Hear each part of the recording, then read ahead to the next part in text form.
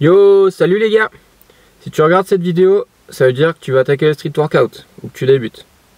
Bon, on va attaquer par les bases. Qu'est-ce que c'est que le street workout?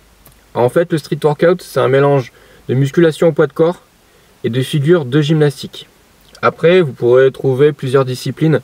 Donc, il va y avoir le street workout plus freestyle, où là, on va faire des sauts dessus des barres, des 360, des pompes claquées, des pompes Superman. Après, vous avez le street lifting, ce qu'on appelle.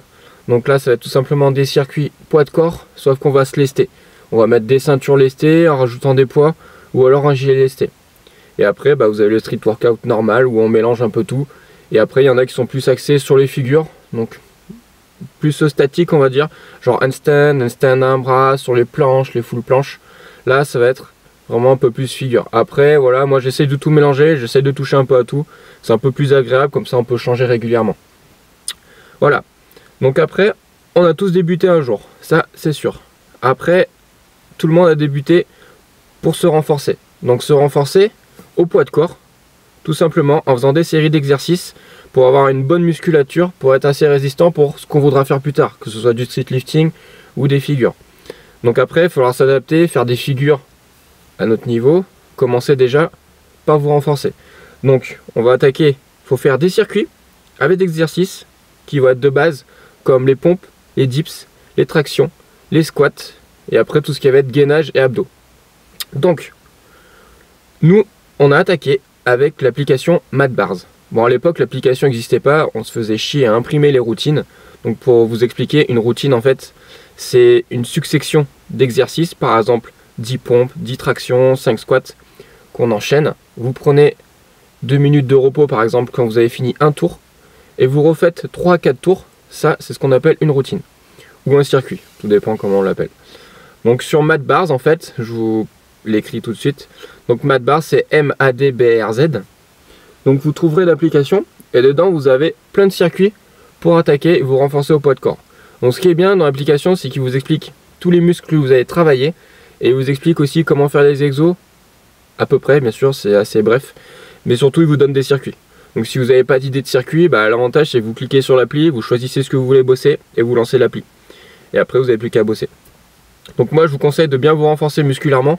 Après, avant d'attaquer votre séance, surtout, il faut s'échauffer. C'est important pour éviter tout ce qui est blessure, tendinite.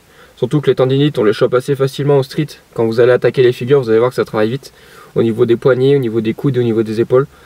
Donc il ne faut pas hésiter à s'échauffer les tendons avant vos séances. Donc après, bah, vous pouvez faire des mouvements cardio, des mouvements circulaires avec vos bras, avec vos jambes, faire un peu de gainage. Et après la séance, je vous conseille de vous étirer surtout, pour gagner un peu en souplesse. Surtout si vous n'êtes pas souple, l'avantage de la souplesse, c'est que ça vous aidera vachement au niveau des figures à l'avenir. Voilà. Donc pour nous, on va attaquer. Je vous balance l'intro et on se retrouve tout de suite, je vous montre les exos de base. Allez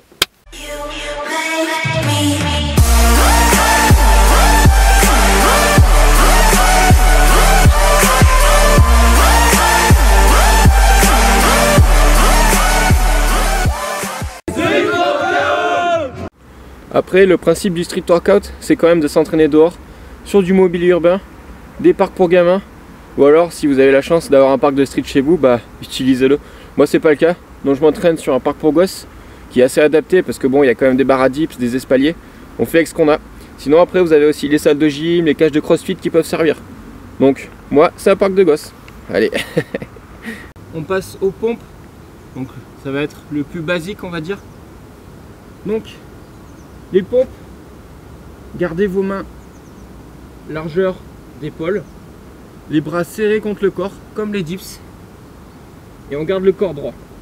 Donc, on se met comme ça, pas comme ça, pas comme ça. On garde le corps droit. Faut aussi d'être un minimum gainé. Et après, vous allez pouvoir pomper. Donc, les pompes de base, on va descendre, toucher ses pecs sur le sol en gardant les bras serrés.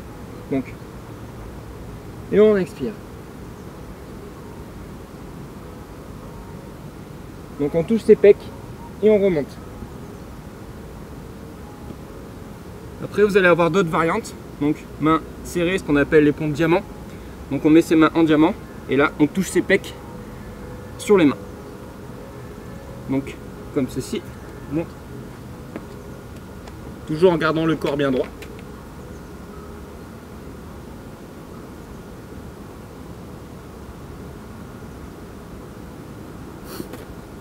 Et après, vous avez ce qu'on appelle les pompes larges. Donc le même système, sauf qu'on prend beaucoup plus large. Donc large.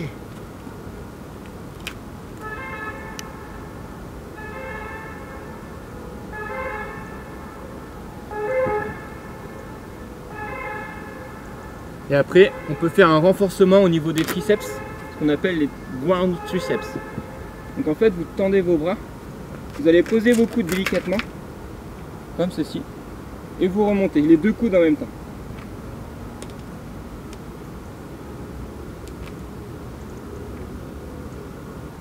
Donc pour les tractions, c'est pareil. Au début, vous aurez tendance à pas monter trop haut, à vouloir donner des coups d'élan. Moi, je vous conseille de forcer un maximum avec le haut du dos et les bras pour éviter d'utiliser ses jambes et son élan. Vous allez voir que ça va travailler un peu plus, quitte à en faire moins, vous allez vous renforcer plus facilement. Donc après, il y a plusieurs types de tractions. Je vais vous montrer ça tout de suite. Donc on commence par les tractions normales en pronation. Donc pronation, c'est les mains comme ça. Donc vous avez vos mains, le dos de la main qui est face à vous. Supination, c'est pour les biceps. Vous avez la paume de la main qui est face à vous quand vous attrapez la barre. Donc là, en pronation.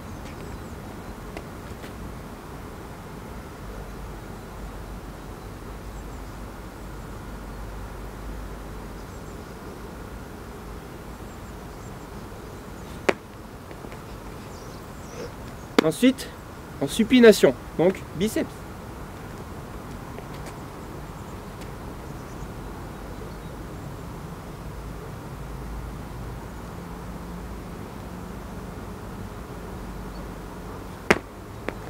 Ensuite, vous avez toujours plusieurs variantes au niveau des tractions. Donc toujours en pronation, vous pouvez faire des tractions serrées, des tractions beaucoup plus larges pour axer vachement sur le dos. Donc je vais vous montrer. Et vous pourrez faire toujours pareil en pronation. Donc c'est toujours le même système. Vous pouvez faire vraiment beaucoup de variantes au niveau des tractions. Après vous avez aussi les tractions nuque, mais je vous les montre juste après. Donc là, traction serrée. Donc on serre les mains.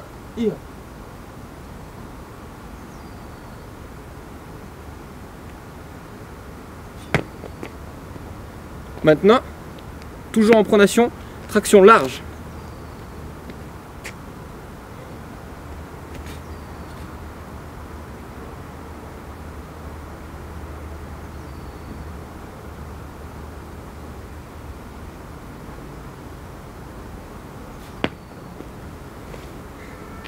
Donc là, vous avez vu quelques variantes.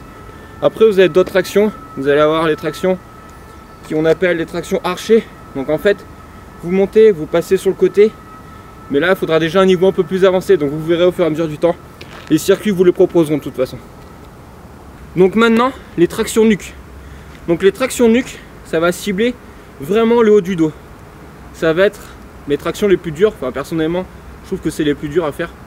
Ça va forcer au niveau de la nuque. Le but, c'est de passer votre nuque devant la barre. Vous allez voir, je vous montre ça tout de suite. Donc on attrape la barre, on prend assez large et on passe la nuque.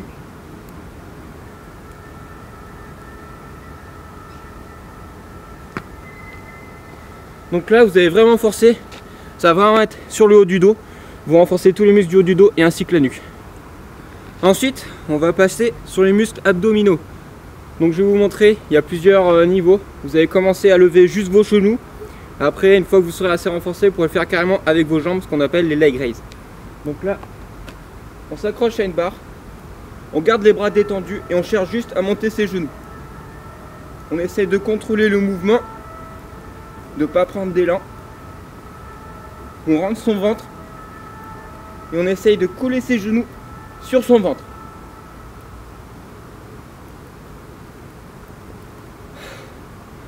Ensuite, les leg raises. Vous allez voir que le mouvement il est assez proche.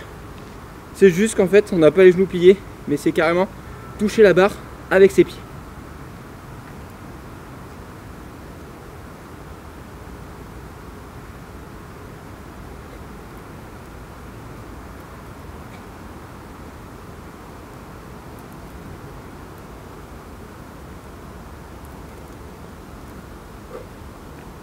Et après, Pour commencer juste la base des figures, vous pourrez travailler le L-sit accroché à la barre. Ça va être une des figures les plus faciles.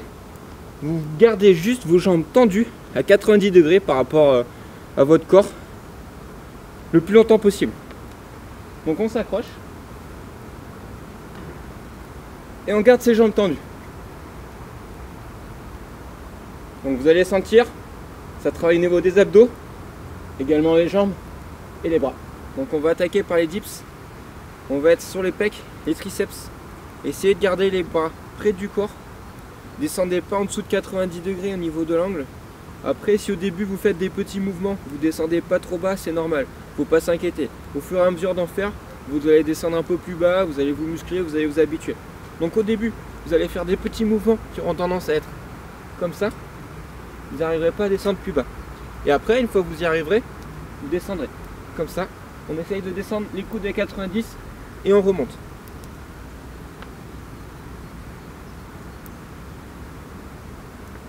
En gardant les bras près du corps. Ça, c'est pour les dips sur les parallèles. Ensuite, vous avez ce qu'on appelle les dips sur barre. Donc en fait, c'est quasiment le même principe, sauf qu'au lieu d'avoir les mains sur des parallèles, vous avez les mains sur une seule barre. Donc on garde les coudes serrés près du corps et on descend, pareil, à 90. Là, on essaie de toucher ses pecs sur la barre comme une pompe au sol et on remonte. Et on remonte. Et on remonte. Donc ensuite, on va bosser les lombaires. Donc c'est un mouvement qui va être assez compliqué, il faut bien contrôler le mouvement et bien forcer sur ses lombaires. Donc on va prendre un banc vous allez lever vos jambes derrière, comme ceci. Faites des répétitions Et plus vous allez reculer en laissant votre corps dans le vide, plus l'exercice sera compliqué. Parce que ça rajoute du poids. Je recule. Vous allez voir qu'à ce niveau déjà, ça force un peu plus. Après, vous pouvez faire du statique. Après, en restant sur les lombaires, on peut les travailler également au sol. Donc, on se pose et on lève ses lombaires. Donc essayez de contrôler le mouvement au maximum pour bien forcer sur vos chaînes musculaires. Donc après, pour travailler les jambes, moi je vous conseille de faire des fentes, la marche en canard, des fentes sautées, des longueurs en marchant, en faisant des fentes. Ça bosse pas mal et je trouve que ça cible beaucoup plus qu'avec des squats. Parce que les squats au poids de corps, c'est pas, pas très dur. Alors qu'avec des fentes, on va beaucoup plus vite avoir mal et se congestionner le muscle. Donc au niveau des fentes, ça se passe comme ça. Donc on descend et on remonte. On descend et on remonte. On descend et on remonte. On change de pied. On descend et on remonte. On descend et on remonte. Après, donc, pour la marche en canard, Bon, certes, vous n'avez pas l'air con quand vous faites ça. Mais ça cible bien. Faut faire comme ça. Vous restez accroupi en fait et vous faites une longueur.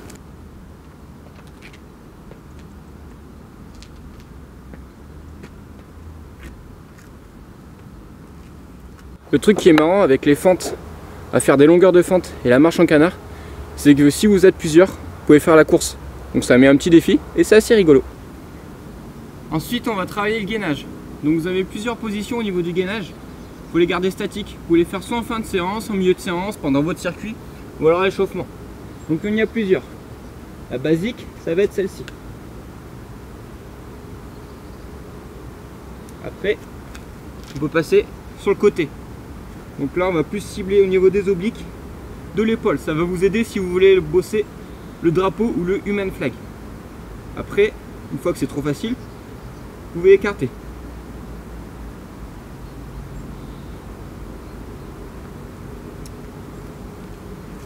Après, vous avez les gainages qui sont un peu plus durs. Donc là, on tend tout devant.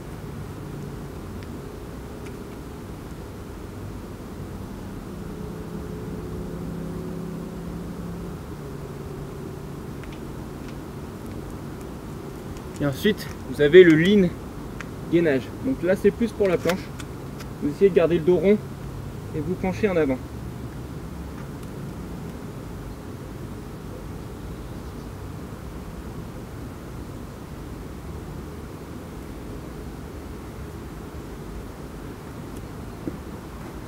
Ensuite, vous avez les gainages pour les lombaires et les fessiers. Donc on ouvre bien, on force bien.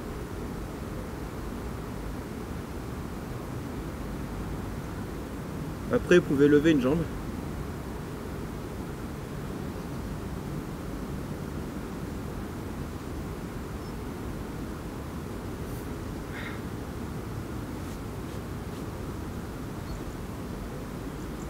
Et après, vous avez les gainages qui sont plus côté gymnastique, on va dire. Vous fait le hollow rock. Donc là, on se met pas à plat, on essaye de faire une virgule. On rentre bien le ventre.